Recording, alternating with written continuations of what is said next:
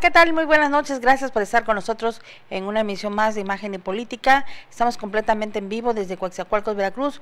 Yo agradezco el favor de su atención y le invito a que continúen esta programación que le tenemos para este día, miércoles ya mitad de semana, 18 de marzo, Día de la Expropiación Petrolera precisamente hoy conmemorando este 82 aniversario de la expropiación petrolera en nuestro país. De eso le hablaré dentro de un momento y vamos a eh, iniciar rápidamente la información que se ha generado en las últimas horas en el país, en el estado, en la región sur, por supuesto, y Coaxacualcos. Entramos de lleno con la información. Fíjese que en una nota de carácter nacional le comento que Tabasco, que se hasta esta mañana eh, se situaba en el lugar número 11 de no tener ningún caso de COVID-19, esta tarde se ha confirmado uno de ellos y eh, precisamente se trata de una mujer de 61 años de edad quien habría llegado procedente de Francia a esa eh, zona de Tabasco y habría pues importado la enfermedad de COVID-19. Las autoridades de Tabasco no han eh, establecido alguna acción de salud precisamente en lo que se refiere al aeropuerto internacional de Rovirosa y tampoco, bueno, pues han tomado medidas de reforzamiento en lo que se refiere a instituciones educativas. Hasta este viernes los alumnos saldrán de vacaciones y los filtros, pues como vemos, no se han instaurado del todo. Eh, las autoridades de Tabasco han confirmado solamente este caso de esta mujer de 61 años cuyo estado de salud se reporta estable. Ella eh, fue valorada inmediatamente de tener conocimiento de la sintomatología que presentaba y fue llevada a una asistencia médica en donde también están siendo monitoreados sus familiares o aquellas personas que han tenido un acercamiento directo con ella a su arribo al estado de Tabasco. No hay eh, otro caso más que se esté presentando. Se habla de otros sospechosos que podrían eh, ser confirmados, pero estos solamente están en estos momentos en análisis. Y se trata de ocho casos sospechosos de la enfermedad de COVID-19.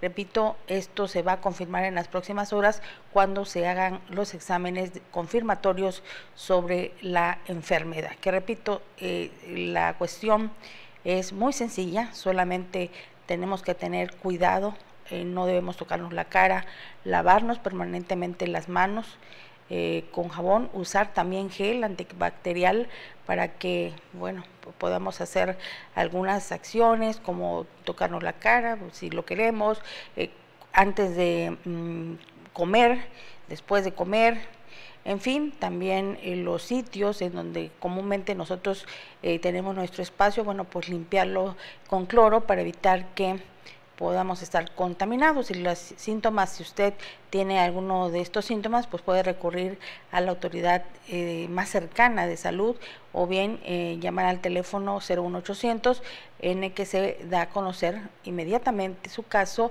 y usted recibe la atención médica. Si presenta fiebre, tos y dificultad para respirar, solicite atención médica de inmediato. Repito, estos son los síntomas más comunes, por supuesto, eh, si usted ha provenido de alguna región de los Estados Unidos o de Europa donde se han dado estos casos, bueno, mucho más eh, tiene que someterse a ese tipo de pruebas para hacer la confirmatoria de la enfermedad. Pero es muy sencillo y yo creo que todos unidos podemos cumplir con este eh, protocolo de sanidad para evitar que los casos se sigan propagando en nuestro país, por supuesto aquí en nuestro estado, en Veracruz.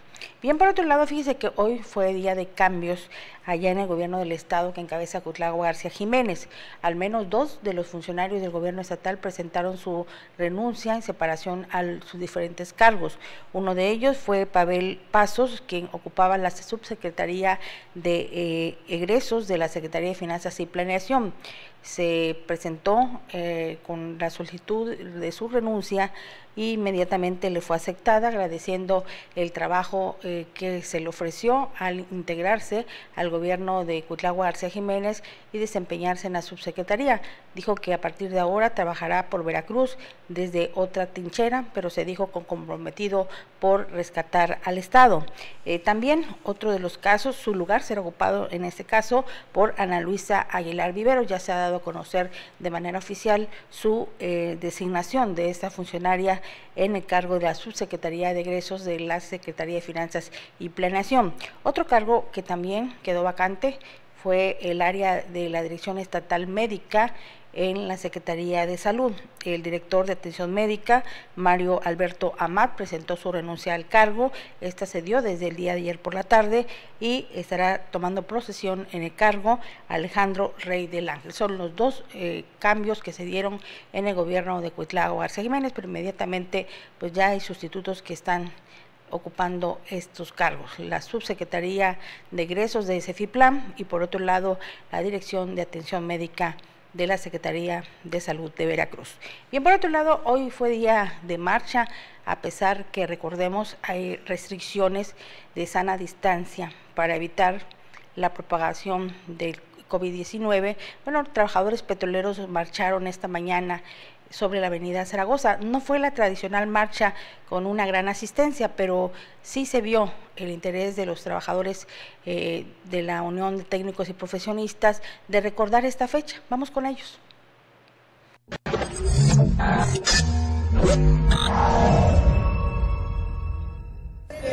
Como de tu gente, señor presidente, como de tu gente. No más.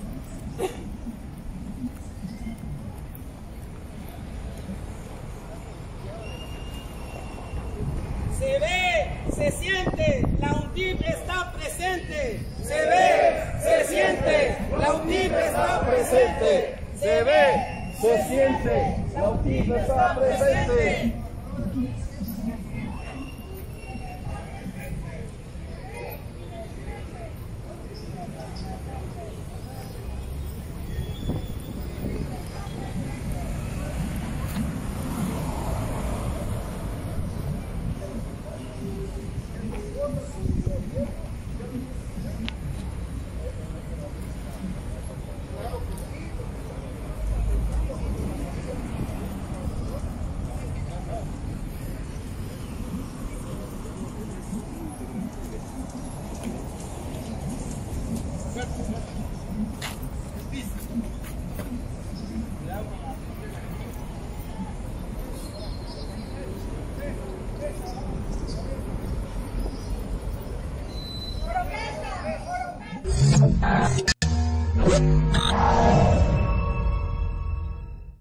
Pues ahí los trabajadores de la UNIP marcharon, no más de 50 trabajadores, en su mayoría jubilados y miembros de esta organización.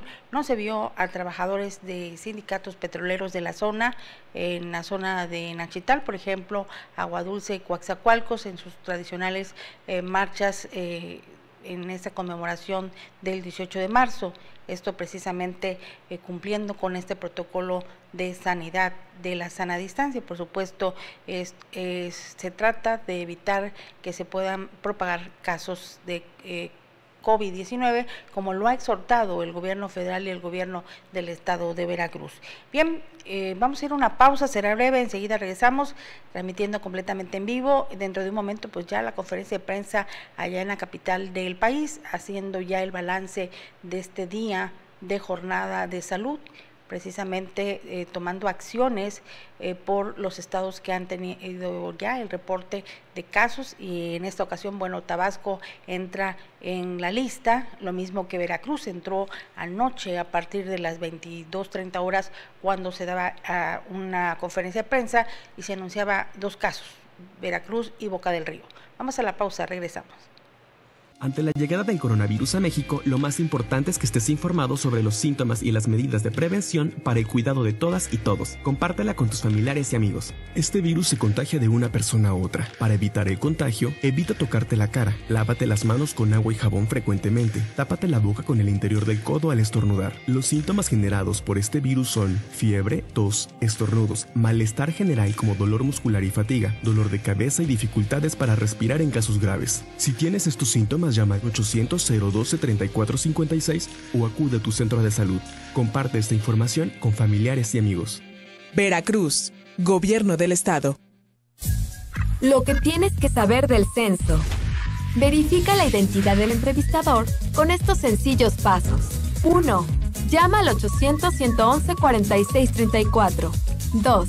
Selecciona la opción 4.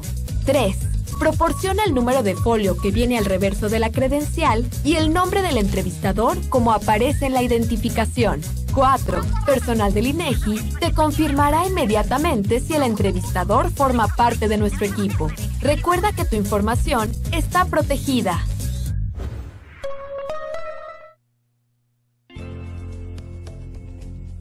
Sembrando Hogares es un programa social que tiene como finalidad apoyar a personas de escasos recursos para que puedan adquirir una vivienda digna. El gobierno de Coatzacoalcos aportó la cantidad de 4.796.000 pesos para la edificación de estos hogares, que beneficiarán a 109 familias de los sectores más vulnerables de la ciudad. Coatzacoalcos, raíz de la esperanza.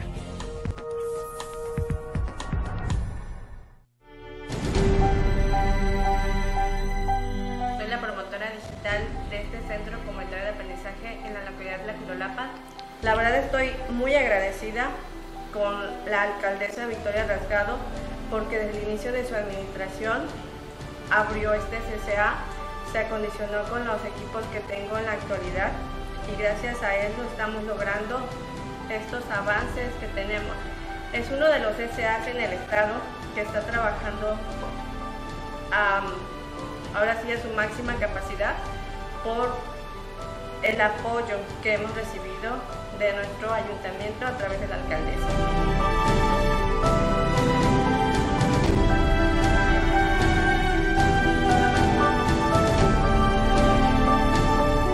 En este curso aprendimos desde las partes básicas de la computadora hasta cómo hacer presentaciones en PowerPoint, documentos en Word y aparte hojas de cálculos en Excel. Eso nos ayuda mucho en nuestras tareas. La maestra nos enseña cualquier duda que tenemos, ella está ahí para nosotros. Estamos agradecidos de que hayan puesto este programa para que nosotros aprendamos más. Y me gustaría aprender más adelante tomar un curso de inglés. A través de la plataforma del Tecnológico de Monterrey. La verdad hemos logrado muchísima base con ellos porque los alumnos no sabían utilizar la computadora.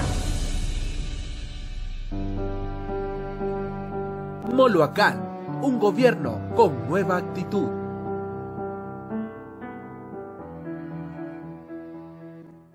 Limpia tu casa del dengue. Este fin de semana, organiza a tu familia y eliminemos las acumulaciones de agua en nuestras casas para ganar la batalla al dengue. Recuerda revisar tanques de agua, cubetas, macetas, botellas y llantas. No olvides realizar esta revisión de forma periódica en patios y azoteas para evitar los criaderos de larvas. Todos, contra, el dengue. Veracruz, Gobierno del Estado brindar una herramienta práctica para la atención de la violencia de género contra las mujeres en Veracruz, el Gobierno del Estado, a través de la Secretaría de Seguridad Pública, lanza la aplicación móvil Mujer Alerta. Si estás en una situación de peligro o eres víctima de algún tipo de violencia, solo pulsa por dos segundos el botón de la aplicación que generará una alerta instantánea. Esta será atendida inmediatamente por personal del C4 que te ubicará satelitalmente y te enviará elementos de la Secretaría de Seguridad Pública para protegerte. Además de enviar un mensaje de texto a tus contactos de emergencia. Mujer Alerta ofrece asesoría jurídica, psicológica y de trabajo social, denuncia anónima y números de emergencia. También contiene información sobre las alertas de violencia de género y los tipos y modalidades de violencia. Es gratuita y fácil de descargar desde las tiendas de aplicaciones móviles y se encuentra disponible las 24 horas del día. En Veracruz declaramos cero tolerancia a la violencia contra las mujeres y las niñas.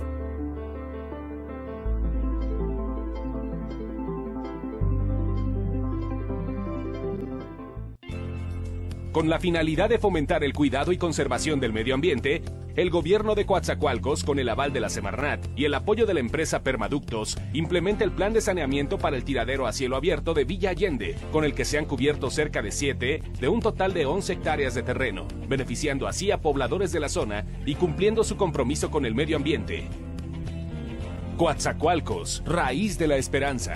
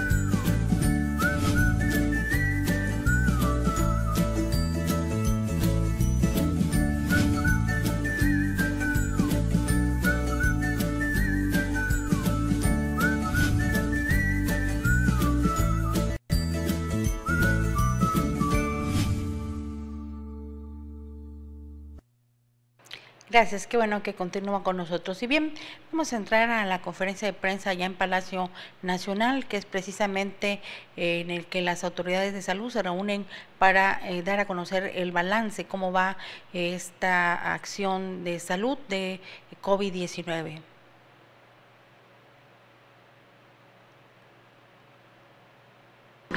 Otra cosa es ser congruente entre las emociones que pide tener y las que actúa. Es decir, vamos a hablar con los niños a pedir tranquilidad, mantenernos en calma, vamos a tratar de reconfortarnos, pero ser congruentes y eh, no realizar algún otro tipo de actividades por pánico. Es decir, le voy a decir a mi hijo, no pasa nada, esto va a ser temporal.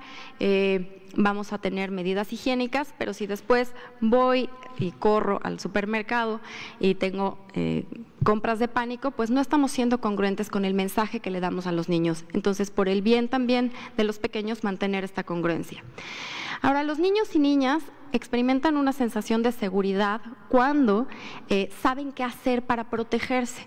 Por ello, el compartirles las medidas de higiene, lavarse las manos, eh, el, estornudo de etiqueta, eh, todo ello ellos perciben que con ello pueden estar protegidos ante la amenaza de poder enfermar siempre importante transmitirle seguridad y bueno, lo que decíamos hace rato, si no tiene las respuestas, decirle, bueno, no las tengo ahorita, pero cuando las sepa podemos hablar del tema. Y las recomendaciones para el otro extremo de la vida, que serían las recomendaciones para los adultos mayores. Hemos dicho aquí que hay que extremar las medidas porque eh, existe cierta vulnerabilidad. Bueno, pues eh, algunos de los eh, puntos que se pueden hacer es que cancelen las citas médicas no necesarias. Es decir, algunos adultos mayores padecen algunas enfermedades y que tienen que estar yendo a algunas unidades de salud a consultas de control. ¿Qué sucede? Eso puede exponerlos. Entonces, la idea es tratar de cancelar las que no sean necesarias, las que sí, pues sí tienen que atender su salud. La otra es buscar mantener comunicación con ellos a través de vía telefónica, mensajes o incluso, inclusive redes sociales promover que realicen ejercicio a sus, eh, a sus condiciones de movilidad, pueden ser las, las, mismas actividades domésticas, caminar alrededor de la casa y procurar que en este tiempo de eh, jornada de sano distanciamiento, pues que los adultos mayores no se hagan responsables del cuidado de otras personas durante tiempos prolongados, es decir, el cuidado de los nietos o el cuidado de otros enfermos. En esta ocasión, tratar en la medida de lo posible evitarlo precisamente para evitar un contagio que puedan en ellos eh, terminar en algún desenlace de alguna enfermedad, en este caso del coronavirus. Y bueno, muchísimas gracias. Muchas gracias.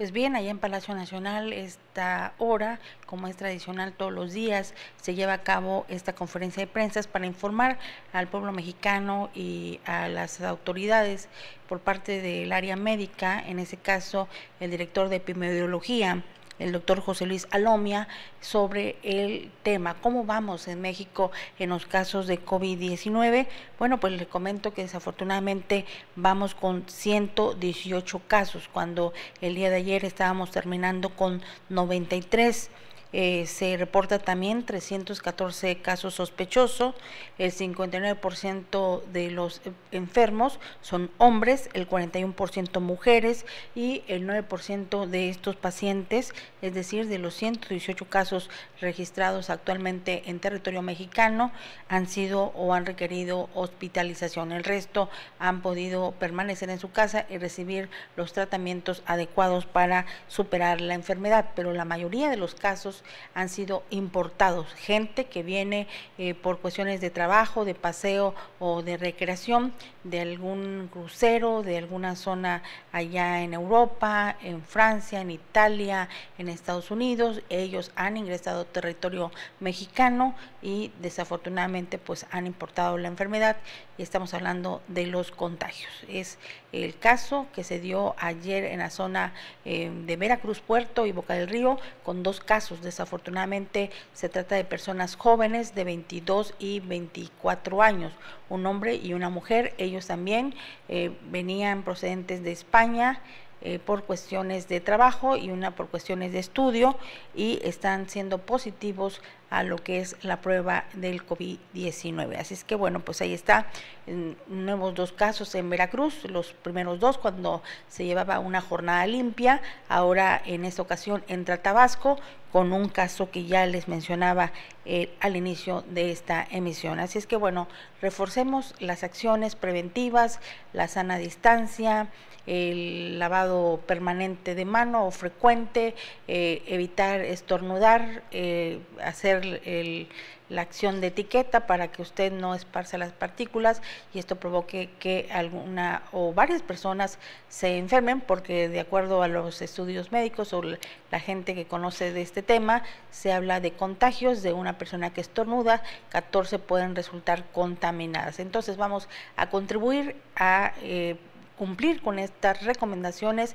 para evitar estar en, en, estas estadísticas desafortunadas. Y bueno, pues también Nueva York, zonas que de gran turismo a nivel internacional están pues prácticamente sin ciudadanos en las calles. Las autoridades ordenaron el cierre de bibliotecas, eventos deportivos, espectáculos culturales, en virtud a que se debe cumplir con este protocolo para evitar más casos. Una de las recomendaciones que algunas eh, zonas, por ejemplo Yucatán, a pesar de que no les hicieron el exhorto de evitar salir, pues vemos que Yucatán ha asumido esa responsabilidad y a criterio de las autoridades ellos han tomado la decisión de pues no salir a las calles, simplemente no salir y se han apegado a los protocolos. También adelantaron las vacaciones o este periodo de no clases que no son vacaciones, este periodo que se otorgó por parte de las autoridades para poder eh, pues cumplir precisamente con estas acciones de eh, protección a todos y cada uno de nosotros. Las autoridades ordenaron el cierre de todos los bares, en fin, centros turísticos y demás, playas en territorio nacional e internacional, en donde pues la gente eh, comúnmente realizaba algunos cruceros, pues ahora están suspendidos de manera definitiva hasta en tanto esta situación pues venga a la baja. Vamos a continuar con más información. Fíjese que Didier Marquina, integrante de la Unión de Trabajadores Petroleros de la región sur, habló sobre la situación que están enfrentando los trabajadores y la demanda en este 82 aniversario de la expropiación petrolera. Vamos con él.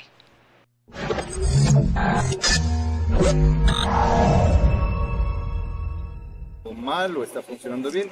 En este caso tenemos que decir lo que está ocurriendo actualmente en los mexicanos, principalmente en cuestión de derechos laborales. Estamos este, manifestando, como ustedes ya han visto a lo largo de ya 14 días, la, la inconformidad, el rechazo, la indignación por estos actos de despidos este, que están sucediendo no nada más aquí en la zona sur, aquí en la zona sur está, se está manifestando de manera puntual identificada quiénes son, a, quienes se les está despidiendo, pero está ocurriendo a todo largo y ancho del, país, en los mexicanos. Y eso también de otras cosas además. Eh, estamos viendo cómo las refinerías siguen al 40% de producción. Eh, no, no alcanzan a, a, levantar.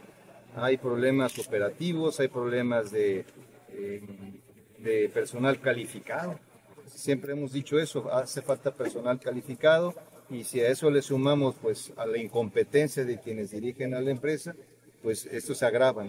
Esta marcha es con... La secretaria de Energía, el, director de Pemex no, no los ha atendido. No, el director de Pemex no ha dado la cara, no ha dicho absolutamente nada, ni sus segundos de a bordo, que es el director corporativo de administración, y así en la cadena, incluyendo el propio gerente de aquí de Zona Sur, no, nadie sabe en dónde está, no, no, no llega a sus oficinas. La secretaria, ¿cómo va el avance de los acuerdos a los que No han reportado, solamente se les citó a los compañeros a tomarles sus datos como si fuese una entrevista de trabajo por primera vez. Eh, lamentable, ¿verdad? Bueno, de cualquier manera para, para demostrar la voluntad de, de la parte de los compañeros afectados se presentaron, dieron la información que les pidieron y les dijeron que esa información se iba a enviar a la Ciudad de México. A la fecha no ha habido ninguna respuesta. O sea, no ha habido la revisión caso por caso, como lo dijo la eso prometieron, por eso a cada uno se les citó, acudieron a, con recursos humanos, dieron su información y no ha habido ninguna respuesta a ninguno de ellos. Hasta ahorita, hasta ahora. Pues tal parece, no quisiéramos creerlo, pero no han dado ni siquiera una llamada o algo para decir, mire, sí hay está sucediendo. Que siga, que siga, porque ya llevan 14 días ahí. Pues, pues nosotros tenemos que seguir insistiendo pues, de la manera que, que sabemos, ah, por la vía legal siempre pacífica. Y bueno, hoy también aprovechamos para hacerlo una vez más. Eh, manifestarlo, ustedes lo van a ver, ahí eh, continúan los compañeros, todos los despedidos. ¿Cuántos este, Pues de, de, nuestra parte eh, son 15 compañeros, pero en general son más de 50 quienes. A nivel y, y el, plan es que iban ellos a continuar. Sabemos de, buenas fuentes que hay más personal que está fuera de las estructuras eh, que es susceptible de ser despedido. ¿Qué significa eso? Que ellos hicieron sus estructuras aquí a nivel de Pemex Street, aquí en la zona, y escogieron a, los, a sus allegados, a sus conocidos, y los que no están en las estructuras son susceptibles de ser liquidados. ¿cuántas personas van a participar hoy en la marcha? Y pues también eh, no se tomaron las medidas que están recomendando las autoridades en cuanto a realizar este tipo de actividades? Pues miren, las medidas son para pues, concentraciones de más de mil personas. En esta ocasión nosotros somos una cantidad muy pequeña, quizás no lleguemos ni a los 200 compañeros. Otros se fueron a la Ciudad de México a otro acto allá, a otros actos allá, incluyendo este uno en la Secretaría de Gobernación. Va a haber una, renovación del Comité Ejecutivo Nacional. Aprovecho para decírselos que la nueva secretaria general a partir de hoy es la ingeniero Silvia Ramos Silvia Ramos Luna, ella trabaja en la refinería de Toro Es de la Unión de Técnicos. Es de la Unión Nacional de Técnicos y Proyectos Petroleros. Releva al ingeniero Pablo López Figueroa, que el día de ayer concluyó su pues, su gestión. Ahora la ingeniero Silvia Ramos Luna es la nueva secretaria general de la Unión. Entonces estamos repartidos, unos se fueron allá a, a esos actos, a la toma de posesión, a la Secretaría de Gobernación y el resto nos quedamos acá. Pues no es, no es nada halagüeño ni para, la, para los trabajadores, para la empresa y para la economía de la región. Pero habla mucho de una zona económica especial y que beneficiaría a la zona industrial, perdón, este corredor interoceánico y que beneficiaría mucho pues a la zona industrial. Pero bueno, el, corredor interoceánico es ajeno a las actividades de Pemex. Si acaso lo que pretenderían o que pretenden es que Pemex le suministre gas, pero pues gas no hay suficiente. Ya lo ven ustedes que, que el gas, al menos el etano, eh, que se requieren los complejos y para el chileno siglo XXI no alcanza, no hay suficiente, se tiene que importar. ¿Y la reactivación de la cadena esa de agronitrogenado? Ese está en veremos, esa es una, una, mm, pues, ¿qué le podemos llamar? Una empresa, una...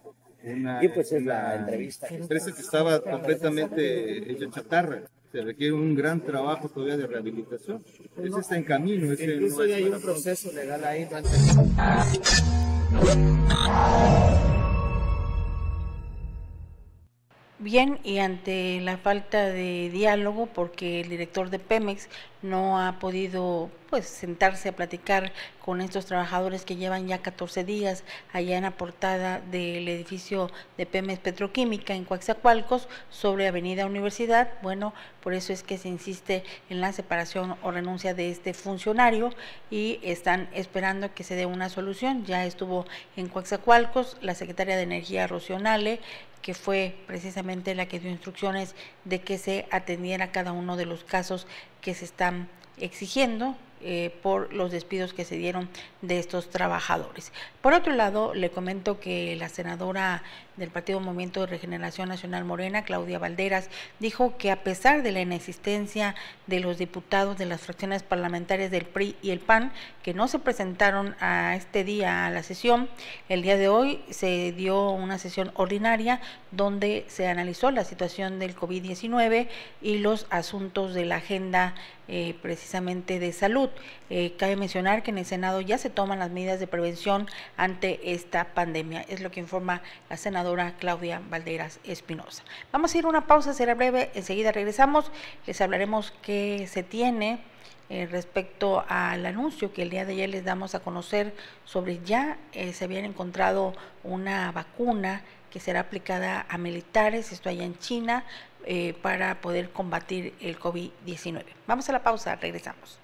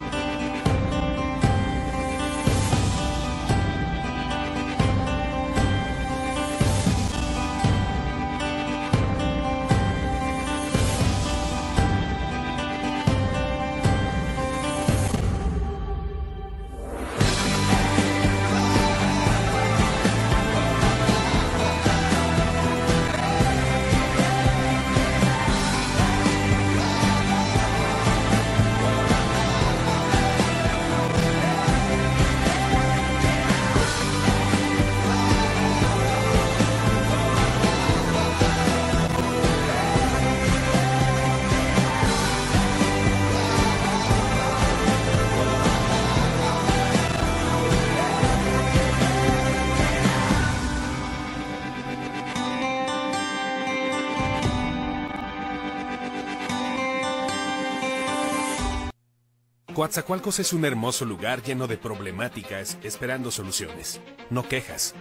Si vives en Coatzacoalcos tienes la dicha de ser parte de una tierra de grandes retos, compleja, de enormes barreras, una ciudad donde a diario tienes motivos para detenerte, pero que te invita a vivir con una permanente necesidad de renovarte por mera supervivencia.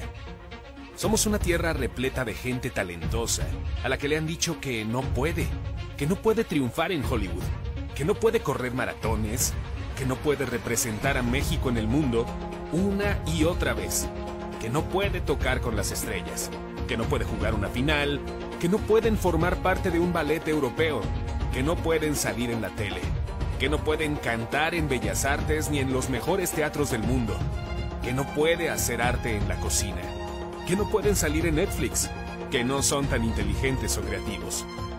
Pero después de buscar una y otra vez, irremediablemente aprendiste que en Coatzacoalcos las oportunidades no se encuentran, se crean.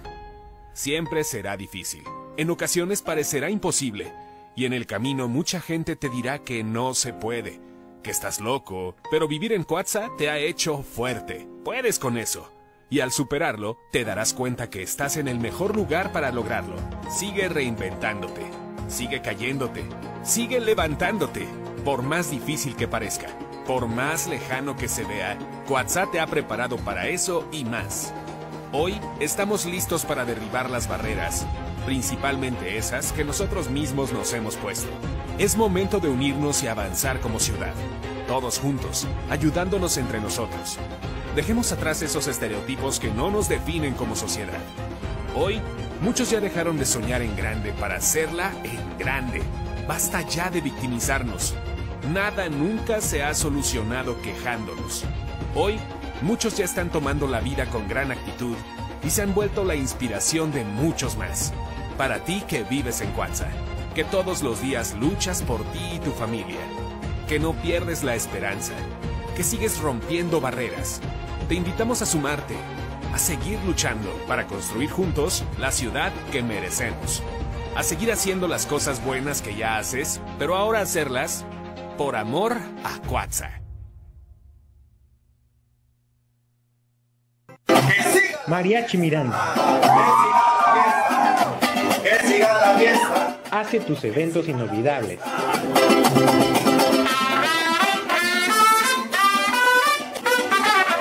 Bodas, 15 años, bautizos, cumpleaños y mucho más. Mariachi Miranda tiene un gran repertorio de canciones para complacer a tus invitados. Baila y goza con el Mariachi Miranda. Mariachi Miranda.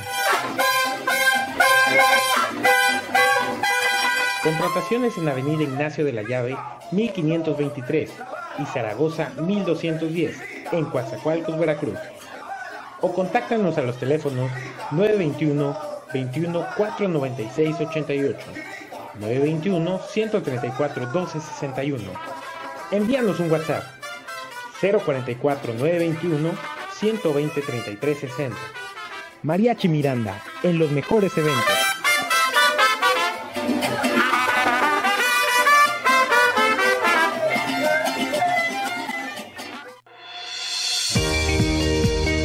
En Gerofon y Asociados te brindamos asesoría en comercio internacional, consultoría para soluciones empresariales, capacitación a tu personal en todo el trámite que desee realizar. Tenemos un área especializada en certificados y trámites. Nos encontramos en Avenida Natural 136, local A, esquina Escatecos, Colonia Fobiste 2, en Coatzacoalcos, Veracruz. Contáctanos al teléfono 921-273-4787.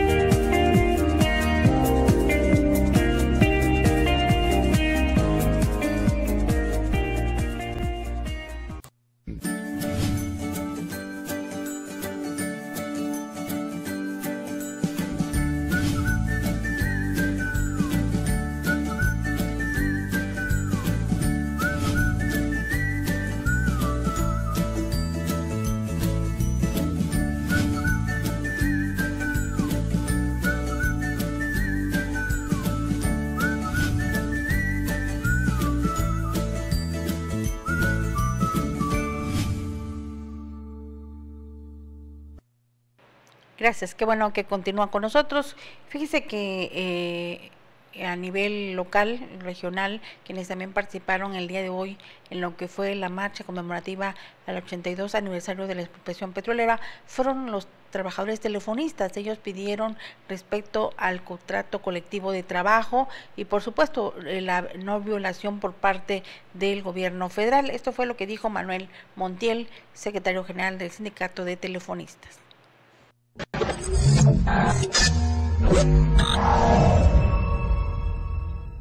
Compañeros petroleros de la UNTIC, parte de la Unión Nacional de Trabajadores, este sindicato formado lógicamente eh, de los compañeros petroleros en todo el país, eh, de técnicos y profesionistas. Yo creo que esta parte donde ellos están atravesando el día de hoy, pues bueno, ustedes ya conocen la cronología, quienes han estado de la parte importante del gobierno federal por acá y bueno, no hay soluciones todavía. Yo creo que nos corresponde, y yo siempre lo he dicho, a los trabajadores defender nuestra fuente de trabajo. No hay nadie más, ni ningún gobierno de ningún partido que pueda defender los contratos colectivos de trabajo más que los trabajadores en este país. Y en el caso de se arrepienten de haber apoyado el- la candidatura de Andrés Manuel, porque de plano ustedes han alzado la voz y tampoco les han dado ninguna respuesta. Bueno, nosotros ya tenemos una definición en lo que ha pasado con los telefonistas. Ahorita yo les platico esta situación. Eh, no nos arrepentimos de haber votado por un cambio en el país, pero creo que, que en este caso tenemos que ser muy claros, el presidente a veces no tiene toda la visión de lo que puede hacer la problemática laboral de este país. Tiene la visión de lo que le dan sus colaboradores, que definitivamente sabemos que todavía dentro del gobierno federal existe gente eh, de la clase neoliberal, ¿no? Al final de cuentas, los trabajadores hemos estado golpeados por cualquier gobierno, yo lo he dicho, los únicos que defendemos nuestros contratos colectivos y a nuestras familias van a ser los trabajadores, esté el gobierno que esté. La responsabilidad nuestra es hacer que el gobierno haga lo que corresponde justamente en los contratos colectivos de trabajo que vienen de más de 60 años atrás, ¿no? Pero bueno, esa parte yo creo que ya la estamos viviendo, efectivamente los telefonistas en este día 6 de marzo eh, les comento, ya estamos divididos en Teléfonos de México en dos empresas diferentes. Una empresa que se llama Teléfonos de México y otra que se llama Renum. Los telefonistas, eh, no es que aceptemos esta división porque todavía tenemos dos años para seguir luchando por este, para demostrarle al gobierno, es lo que pedíamos que no se hiciera. Lamentablemente saben que el IFT es un órgano autónomo del gobierno federal, que dentro de sus miembros todos todavía son de la eh, parte política del PRI, del PAN, de los gobiernos ¿Y anteriores. Esto ¿Cómo les afecta, señor? Por ejemplo, ya que fueron divididos. Bueno, nosotros para que nos pudiera oír el presidente, yo lo decía en una entrevista, necesitamos o necesi- necesitamos hacer tres marchas en el Palacio Nacional en las mañaneras. Desde la primera marcha, a través de los compañeros jubilados en México, logramos que uno de los periodistas compañeros de ustedes nos hiciera favor de manifestar nuestra controversia que teníamos con el IFT por el- la división de la empresa ante el presidente y a partir de ahí el presidente eh, respondió al reportero e iniciamos una mesa intersecretarial de negociación donde estaba Teléfonos de México, el IFT, el gabinete del presidente, el sindicato de telefonistas y Teléfonos de México. Y en ese sentido se hizo la apertura que no se había dado porque el presidente cree que todos los sindicatos somos iguales, cree que todos los sindicatos que tienen líderes eh, de más de 40 años, pues, lógicamente eh, son sindicatos corruptos. ¿no? Aquí, afortunadamente, nosotros hemos mantenido toda esta situación con el interés de buscar que no se dé la división.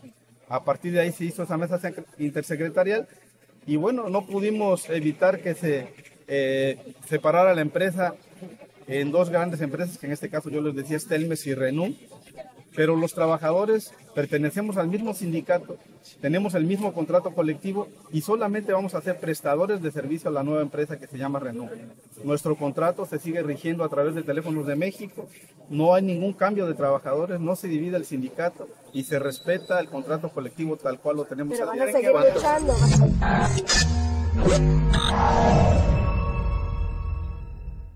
Pues ahí están los auténticos líderes defendiendo realmente a la base trabajadora, pero quienes tienen mayor suerte pues son los famosos líderes charros. Por otro lado, le comento que eh, el día de mañana jueves, en punto de las 8 de la noche, estarán con ustedes en Sananda Omni, tocando el tema Enigmas Omni, no se lo pierda, en punto de las 8 de la noche. Recordándole que Imagen y Política está en estos momentos solamente transmitiendo este programa en vivo de las noticias al día y el resto de nuestros programas en televisión por internet lo estamos eh, teniendo pues eh, grabado eh, de otros programas en virtud a que hay que mantener la sana distancia y por supuesto una forma también de proteger a nuestros colaboradores.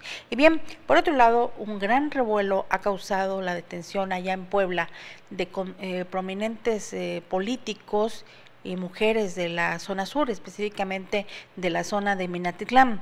Esta tarde se dio a conocer que la Fiscalía de Puebla había ordenado la detención de la, eh, de la señora Reina Isabel de Guade, expresidenta del Sistema para el Desarrollo Integral de la Familia DIF de Minatitlán, en el periodo de gobierno de Héctor Chan Barragán. Eh, ella fue detenida junto con su hija de los eh, del mismo nombre en virtud a que la autoridad la encontró responsable o se le hace la imputación de posesión de narcóticos y otros delitos.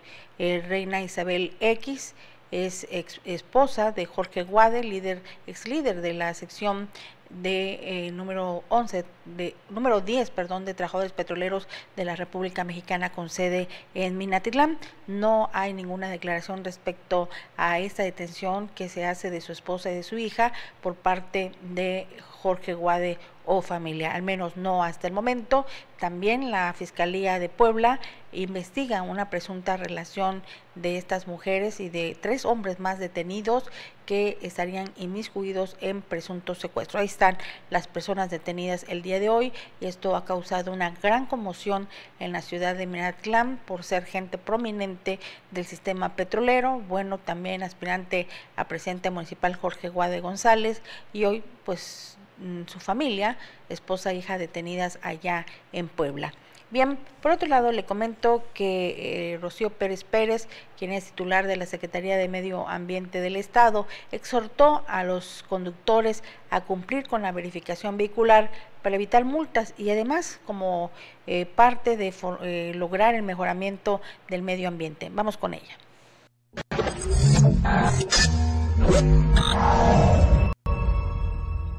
de las responsabilidades permanentes de este gobierno es velar por el bienestar de la población y por un ambiente sano para los veracruzanos.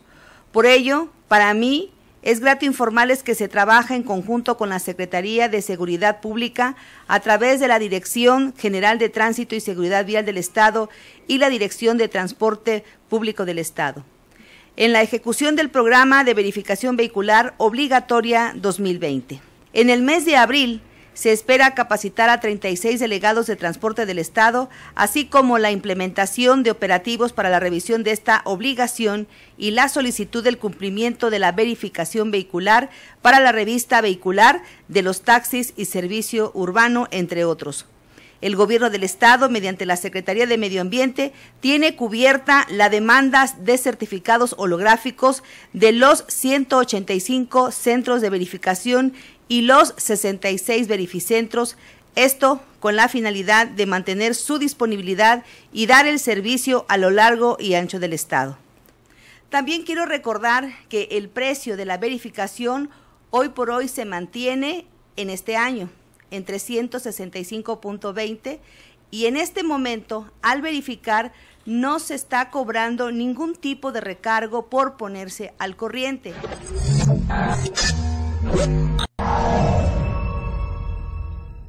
Ahí están los automovilistas, los dueños de vehículos que aún no han podido hacer la verificación vehicular, están a tiempo para evitar que se le aplique las multas correspondientes por parte de la Secretaría de Medio Ambiente del Estado de Veracruz.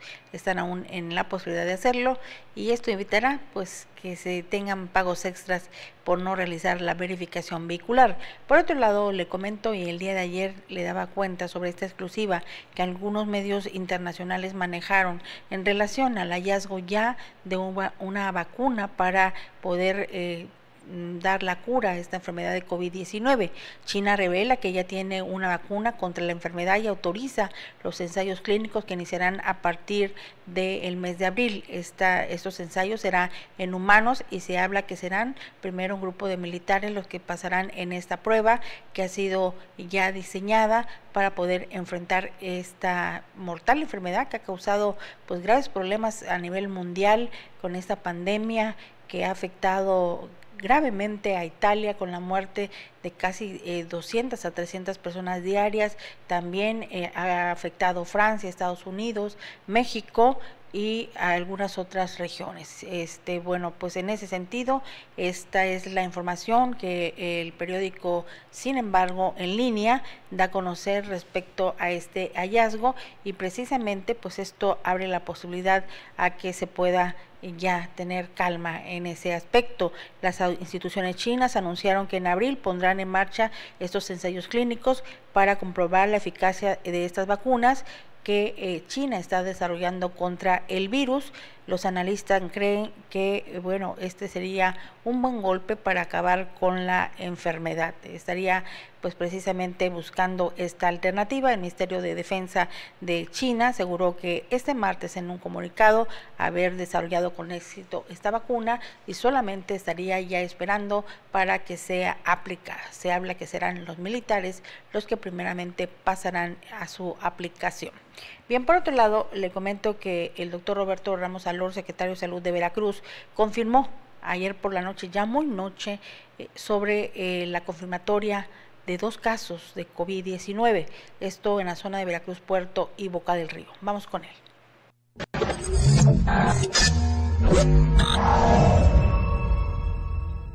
Ciudadanas y ciudadanos de Veracruz, familia veracruzana, estos son los momentos ciudadanos más importantes. No debemos causar alarmas ni pánico. Los casos están confinados y el protocolo aplicado con tiempo. Seamos una sociedad que en estos momentos sabe comportarse. Por eso estaremos diariamente informándoles a ustedes cada noche. No olvidar que hemos superado otras difíciles situaciones epidemiológicas y hemos salido airosos. Hemos aprendido también a unirnos en las acciones y no dar por ningún motivo pánico ni falsa alarma. Por último, quiero informarles que Radio Televisión de Veracruz transmitirá en vivo el informe nacional de las 7 pm todos los días a partir de mañana. Y posteriormente el comunicado que esta Secretaría puntualmente lo hará para ustedes. Muchas gracias.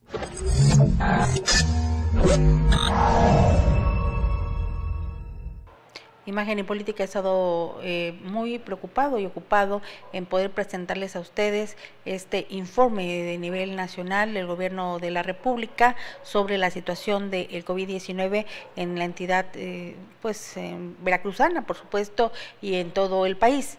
Eh, ahí vemos la gráfica y por supuesto el comportamiento que hay para el estado de Veracruz con dos casos ya confirmados, 24 sospechosos que están por confirmarse. Alrededor de las 8.30 de la noche se espera que se pueda tener ya hoy el informe en el caso de Veracruz y esta conferencia de prensa la encabeza el secretario de Salud de Veracruz, Roberto Ramos Alor. Por otro lado, les comento que el gobernador de Veracruz, Cuitlago García Jiménez, exhortó a los presidentes municipales a que tomen la decisión en base a las circunstancias que ellos observan en sus referentes o diferentes municipios de la entidad, especialmente aquellos que cuentan con playas, a poder determinar si es factible su cierre o no. Eh, esto en virtud a que debemos seguir manteniendo la sana distancia.